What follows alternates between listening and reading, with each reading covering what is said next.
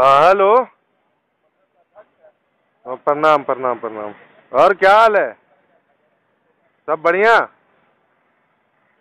कहाँ हो तुम अभी? किसके साथ है?